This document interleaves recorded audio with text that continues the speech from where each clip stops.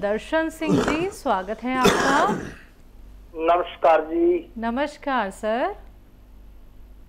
हमारा सवाल है जी एक बुज़ुर्ग हैं सेवेंटी फाइव ईयर के। जी। उनको प्रोस्टेट की प्रॉब्लम है दूधों की।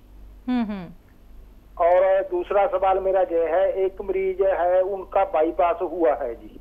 हम्म। और चार महीने हो चुके हैं और खून पतले की दवाई चल रही है क्या उनको सिरका दे सकते हैं? ऑपरेशन को चार महीने हो चुके हैं। अच्छा पहला वाला जो सवाल था आपका उनको प्रोस्टेट में क्या परेशानी पेशाब तकलीफ़ से आता है? पेशाब जलन होती है एक तो जी दूसरा बार बार आता है थोड़ा थोड़ा जिनको भी प्रोस्टेट की ऐसी तकलीफ़ है जो आपके पिछहत्तर साल बुज़ुर्ग को है तो उनके लिए एक अच्छा नुस्खा है, वरना ये बात ऑपरेशन तक चली जाती है।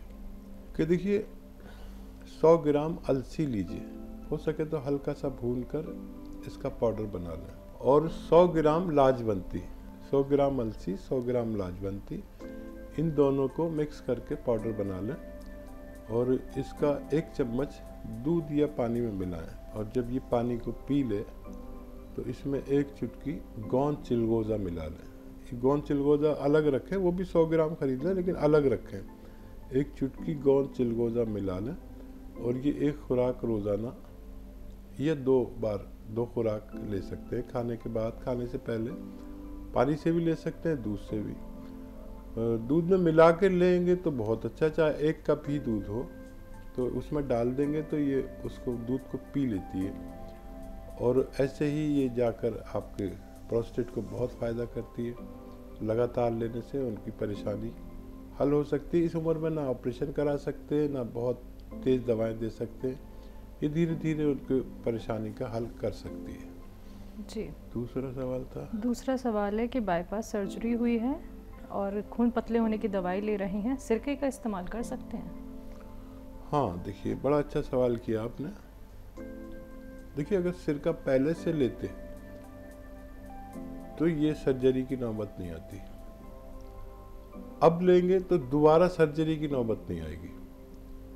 ये सिरका जो मैं अक्सर बताता हूँ, कलौंजी का, या जैतून का, असली सिरका लें और दो चम्मच पानी में मिलाकर एक चुटकी खाने का सोडा उसमें डाल दें और पी लिया करें दिन में एक बार या दो बार।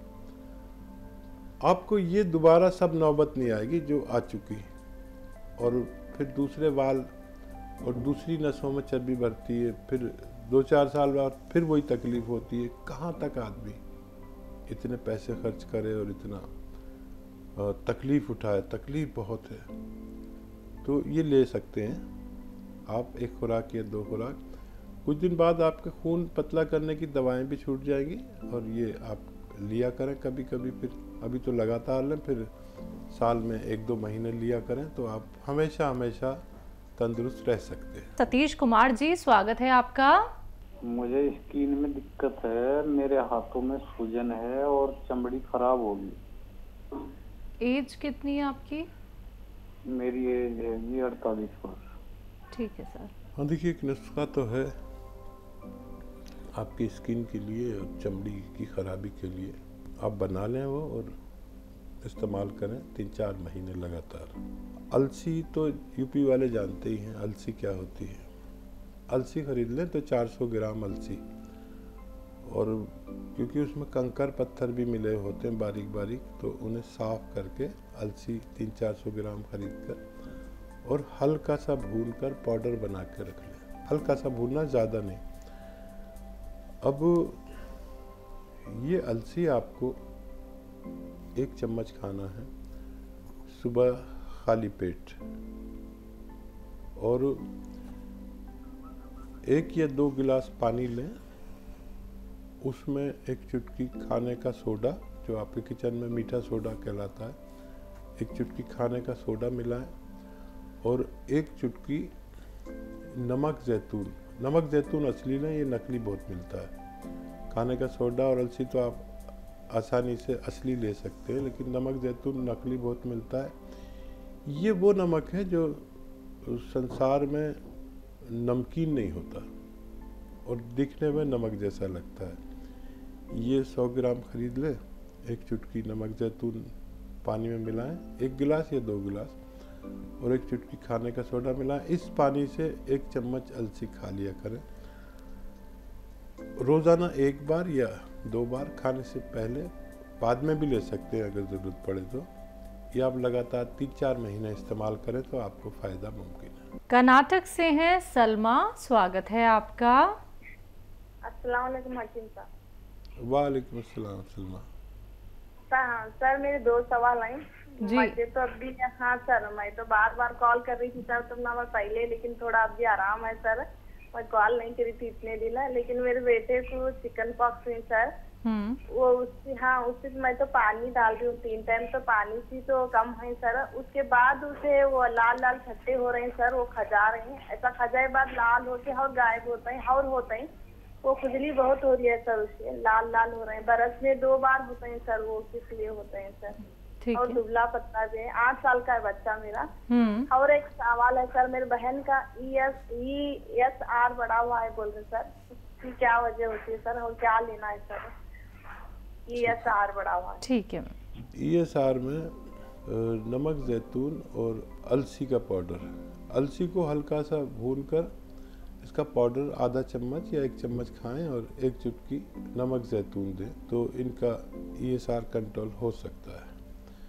और इसका कंट्रोल होना ज़रूरी नहीं तो हम, हमारे इन्फेक्शंस बहुत ज़्यादा हो जाते हैं।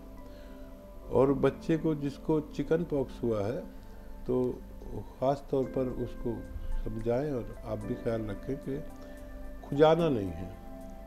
अगर कहीं दाने हैं और लाल हों या काले हों तो ऐसे सैला लें। अच्छा पानी न डालें। तेल लगा लें, नारियल का तेल लगा लें, सैला लिया करें तो खुजली तो दूर होगी। और एक दो दिन और रहेंगे, फिर ये अपना आप झड़ जाएँगे और आपका बच्चा अच्छा होने वाला है। मुनक्का और हुपकला दें इन्हें। मुनक्का वो होता है जिसमें बीज होता है, किशमिश जैसा होता है, लेकिन उसमें बीज होता है, उसे मुनक्का कहते हैं। मुनक्का को खोलें, उसमें से उसका बीज निकाल दें और उस जितना बीज उसमें था, उतनी ही हुपकला हुपकला एक दवा का नाम है जो बारीक बारीक दाने होते हैं उसमें भर के फिर मुनक्के को बंद करें और देसी घी में तल के बच्चे को खिलाएँ और रोज़ाना जितना भी खा सके खाने दें। इससे उसका ये चिकन पॉक्स की बीमारी अच्छी होना मुमकिन है। वाराणसी से मोहम्मद जी स्वागत है आपका। अस्सलाम वालेकुम साहब। वालेकुम वालेकुम अस्सलाम। सलाम। हाकिम साहब मेरा ना वो का ऑपरेशन हो गया है। उसमें स्टंट पड़े हैं। हम्म हम्म तो मेरे को कभी कभी घबराहट होती है। हम्म। और टेंशन लिया तो गले में खिंचा होता है। ठीक। और एक बुज़ुर्ग है साठ पैंसठ साल के। उनका हार्ट है ना कमज़ोर हो गया वीक हो गया। वो बीस तीस परसेंट चालू है। तो उनके लिए अर्जुन का छाल दे सकते हैं। और कितना क्वांटिटी में दे सकते अर्जुन की छाल एक से दो चुटकी रोज़ाना यूज़ हो सकती है एक बार में, और दो बार तक इस्तेमाल कर सकते हैं अर्जुन की छाल। अर्जुन की छाल को उबाल के भी पिया जाता है। तो क्वांटिटी का ख्याल रखें, वक्त बहुत कम है, और आप याद रखें कि आपने जो दिल में, रगों में, आपके कोलेस्ट्रॉल यानी चर्बी जम गई थी, वो एक नाली है जिसको आपने बारीक सा खुलवाया है। अभी वो नाली साफ़ नहीं है। तो आप उस नाली को पूरी खोलने के लिए और वो नाली दोबारा बंद ना हो दिल की रगें दोबारा बंद ना हो उसके लिए नमक जैतून असली एक चुटकी और खाने का सोडा एक चुटकी दिन में दो बार पिया करें पानी में मिलाकर खाने से पहले और बाद में दोनों दोनों वक्तों में पिया जा सकता है। आपको फ़ायदा मुमकिन है। सक्सेना जी हमारे साथ स्वागत है आपका। नमस्कार जी। नमस्कार सर कहाँ हाकिम साहब बहुत बहुत आदाब। आदाब जय हिंद स्वागत भाई आपका। सर मैं मेरी एज 80 के करीब हो रही है और पैंक्रियाज में मेरे को पथरी बताई है। हेलो जी जी। मुझे और हम इस एज में वो कहते हैं इसका ऑपरेशन के अलावा कोई इलाज है नहीं इसको निकाल देंगे। हम्म। तो वो हम नहीं चाहते हैं। और दर्द अभी तक हुआ नहीं है जब से है तो अब क्या करें? समझ में नहीं आता कभी दर्द होगा तो क्या होगा? कहते बहुत तेज दर्द होता है। कितना बड़ी तो- बताइए पथरी पाँच एम एम की बोली उन्होंने। हाँ देखिए कोशिश कर लीजिए एक नुस्खा पाँच दिन लें। पथरी अभी छोटी है शायद निकल जाए। बड़ी पथरियाँ निकलना मुश्किल होता है। तो एक नुस्खा आप नोट कर लें। और वो नुस्खा ये है कि असली जैतून का सिरका और असली जैतून का तेल। तो देखिए, नकली की भरमार है।